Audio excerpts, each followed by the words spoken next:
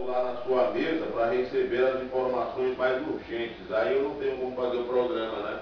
Tem lá um celular à disposição da Safira, que é a nossa assistente, né?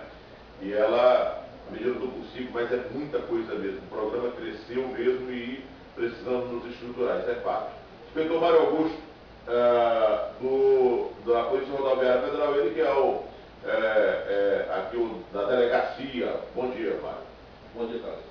É, como é que nós estamos aí de operação do Natal, inspetor?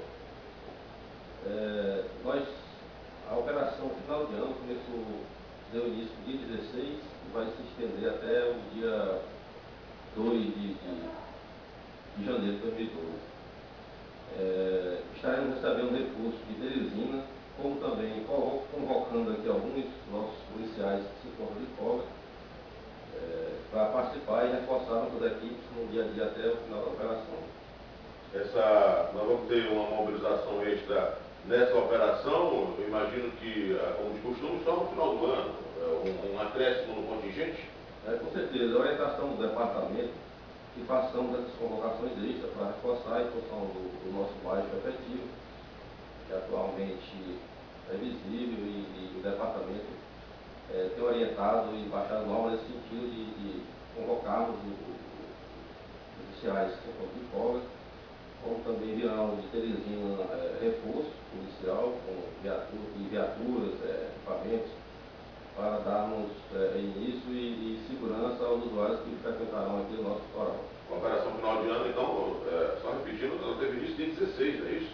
É, dia 16. Em é a operação, é a Operação Natal, é, e Operação Final de Anos, que elas se, se, é, são simultâneas, né? Uhum. Agora, é, para o, o, Natal combina com o final de semana. É, é, existe um, um, uma forma especial para esse trabalho ou segue normalmente diante do que já foi estabelecido para esse trabalho? É, existe esse trabalho, essa, essa operação, que 16, e houve, agora no, no último final de semana, nós tivemos aí, tivemos, é, não foi possível é, é, torná-la efetivamente em função de uma operação que a Polícia Rodoviária desencadeou em 13 estados é, do, do, país. Foi a Operação Morfeu, que, que resultou aí em, apreensões de, de, de, drogas em alguns pontos, é, como postos de gasolina, é, restaurantes que ficam mais da rodovia. E essa operação envolveu aí 300 policiais especificamente para essa operação, onde foi desencadeada esses estados e que resultou nessa, em apreensão de 45 mil é, comprimidos, com arrebites, outro tipo de drogas, foram alucinógenos. Exatamente. E apreensões de armas, pessoas aqui no Piauí, onde ocorreu a maior apreensão dessas drogas em alguns pontos aí de, de postos de gasolina, restaurantes, foram apreendidas oito armas e nove pessoas foram, foram presas em função dessa, dessa operação. E por conta dessa operação, é, tivemos aí, nesse início dessa operação, essa dificuldade, porque tivemos que deslocar alguns policiais para participar, inclusive daqui de Parnaíba, foram deslocados alguns policiais para participar dessa operação, que foi desencadeada também no, estado do Piauí é, falar em, em, apreensão, ontem, a, a, ontem, nessa semana, agora apreendido mais um veículo, não, né? a, foi, foi recuperado mais um veículo, uma moto, não é isso? Uma moto pop? Positivo, é, essa moto. Eu queria até, é, Fernando, tem aí, tem aí já na, elencado aí, mostra as imagens desse, dessa moto, tá aí a imagem da, da moto que foi recuperada, né? Uma moto de Parnaíba.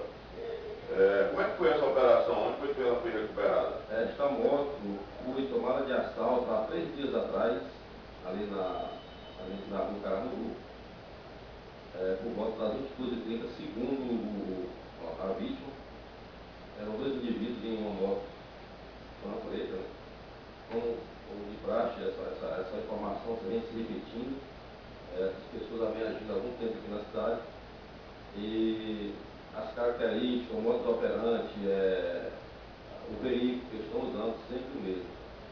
E tomaram de assalto, né, houve disparo, porque a vítima, segundo a vítima, se assustou e quis reagir, é, felizmente não foi atingido por esse disparo. E levaram, inclusive levaram ele também com refém, Como refém. e o deixaram em algum ponto. Em seguida, é, abandonaram ele lá e, e levaram a moto. E esta moto foi encontrada ontem às margens da BR, um, um trecho, uma estrada de sinal, ali depois do Motel Alve, ali entre o Motel Alve e, e, o local. É, uma estrada que dá acesso à Avenida São Sebastião, que vai sair já lá na, naquela estrada, uma estrada já bastante difícil acesso. Acesso. Mas com a informação, chegou até, até a Polícia Rodoviária, e fomos lá e confirmamos a denúncia e encontramos a moto. Já entramos em contato com, a, com o proprietário e foi feita a entrega é, após é, conduzida para o Distrito Policial para fazer o procedimento. Para finalizar, esse o nosso tempo está estourado. É, um telefone para contato qualquer usuário das BRs 402, 343 que precise dos, dos, dos serviços ou de uma informação da Polícia Rodoviária, qual o telefone para acesso? O telefone, o telefone mais fácil de acesso à Rodoviária é o 191. Aqui em Parnaíba nós temos 3322 6510. Esse telefone é 24 horas. 191 funciona em Parnaíba? Teresina. Teresina. Eles, eles fazem contato. né? E queria aproveitar aqui a oportunidade e informar alguns usuários das rodovias que certamente vão usar é, nesse período, dizer que veículos de carga de comprimento acima de 18,6 é, metros vão estar proibidos de trafegar nos dias 23, 25 e 30 e 31. Dia 23, das 6 da manhã às 12 horas. Dia 25, das 16 às 22 horas. Dia 30, das 6 às 12 horas. E dia, 30, dia 1 das 16 às 22 horas. Se alguém tiver algum interesse e quiser se formar, essas pessoas que possuem desses carros, proprietários que trafegam nas carros, é, podem ligar para o 91 que é, a Rodoviária vai informar essas datas e esses horários. Tá certo. Conversamos com o inspetor Mário Augusto do, do, da Polícia Rodoviária Federal, passando as informações né, para você aí que vai é, durante esse período de Natal. Traz para mim